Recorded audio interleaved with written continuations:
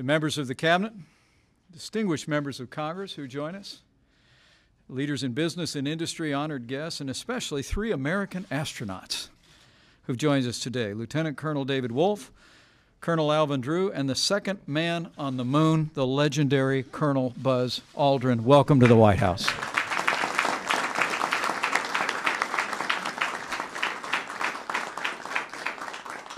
My great, great privilege on behalf of the First Family to welcome you all here today. And thanks to the vision of President Donald Trump, welcome to a new era of American leadership in space.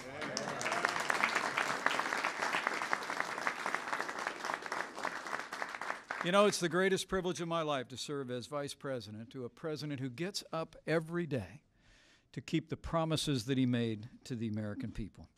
In his inaugural address, President Trump recommitted our nation to, in his words, unlock the mysteries of space once again.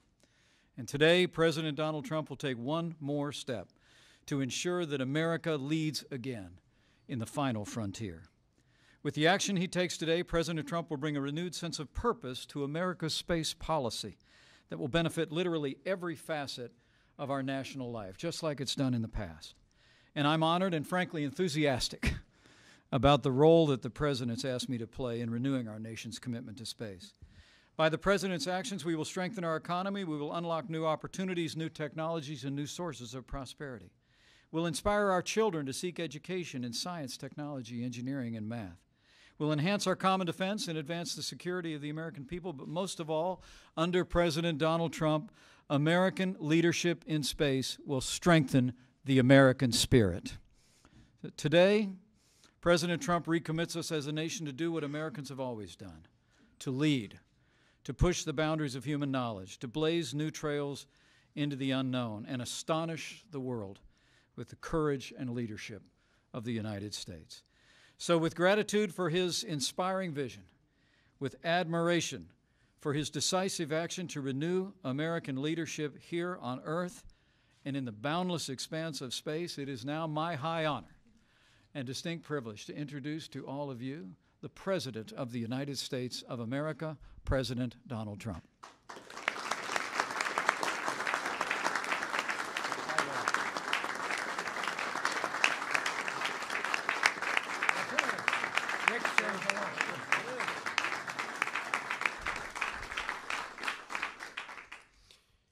Thank you very much. You don't mind if I do that? Get rid of that. Thank you very much to our great Vice President and uh, also for the fantastic job that Mike has been doing. The future of American space leadership, we're going to lead again. It's been a long time, it's over 25 years. And uh, we're opening up, and we are going to be leading again like we've never led before. We're a nation of pioneers, and the next great American frontier is space. And we never completed. We started, but we never completed. We stopped. But now we start again. And we have tremendous spirit, and we're going to have tremendous spirit from the private sector, maybe in particular from the private sector. I'd like to extend a special welcome to an American hero who I've known actually for a long time, Buzz Aldrin, who is with us today.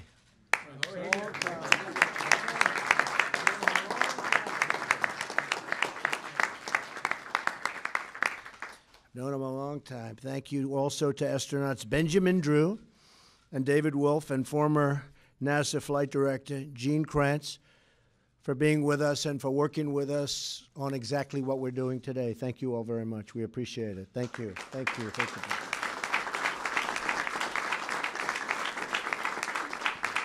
We're also joined by our great Secretary of Commerce, Wilbur Ross, who spent the morning negotiating trade deals with South Korea. And as you know, that trade deal is coming due, and it actually came due a couple of weeks ago. And I think uh, we're going to make a good deal, right? We made some progress. I think so. That's what the word is, and good for both countries. Also, distinguished members of Congress are with us, and leaders of several of America's great aerospace companies.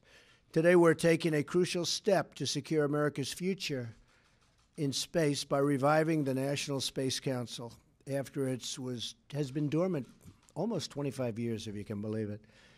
During the campaign, Vice President Pence promised that our administration, because Mike's very much into space, would revive the National Space Council.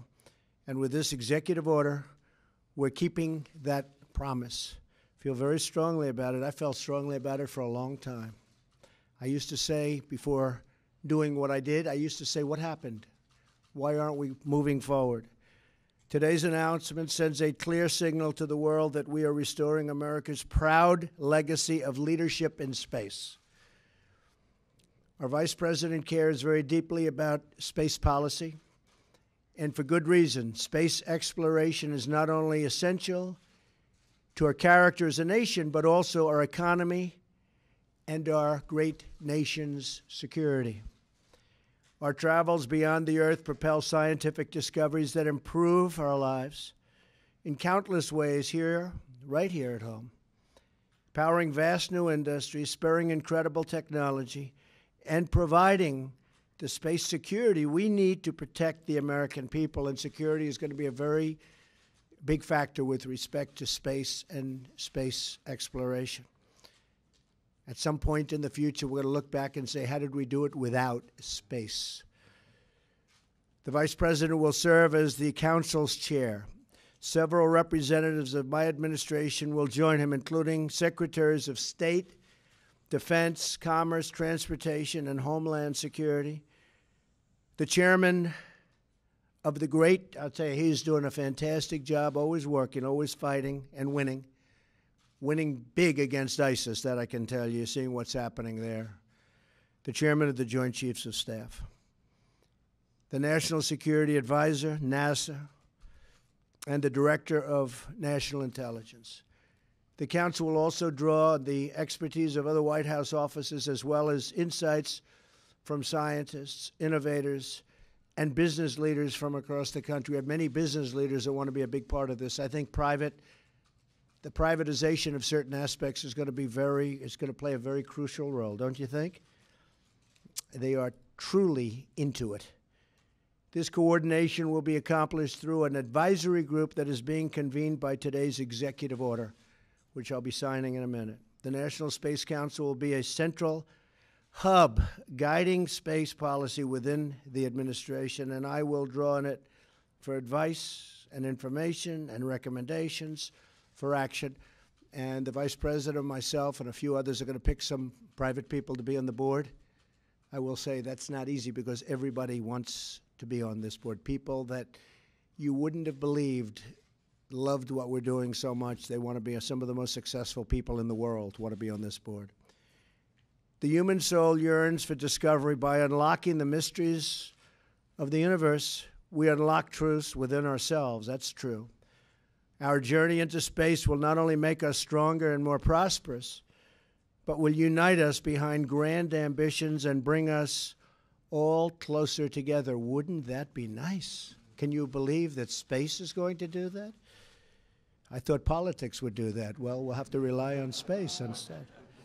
Every launch into the skies is another step forward toward a future where our differences seem small against the vast expanse of our common humanity.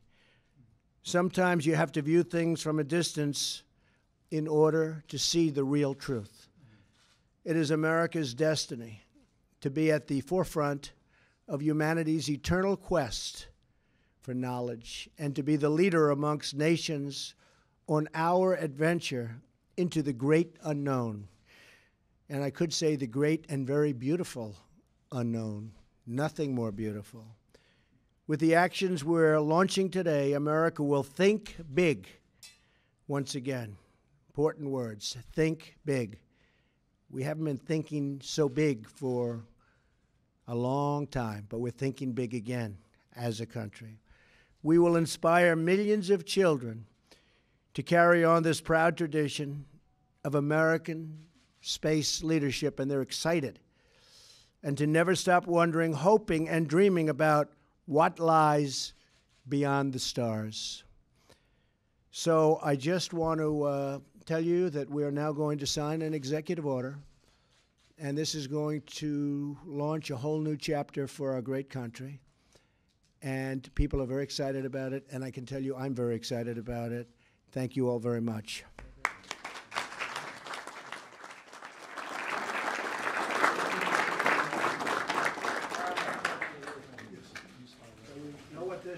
Space. That's all it has to say, space. A lot of room out there, right? Infinity and beyond. This is infinity. It could be infinity, we really don't know, but it could be, there's gotta be something, but it could be infinity, right?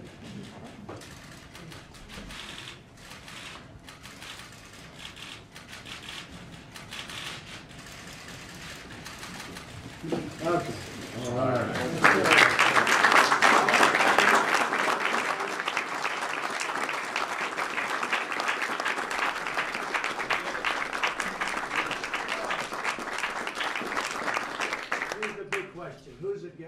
Here's